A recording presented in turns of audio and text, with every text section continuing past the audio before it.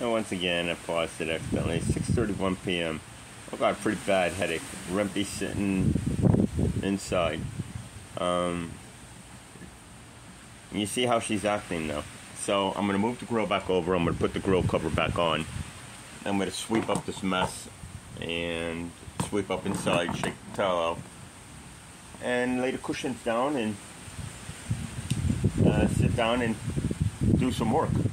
I've got some data transfer to do, some posts to do, because while I was recording for 10 months and only posting a few videos, she was still attacking me and doing the things that she was doing in spurts when it was a constant battle that turned into spurts and then sporadic and then a calmness and then all of a sudden attacks again and, and, and now it's all different again.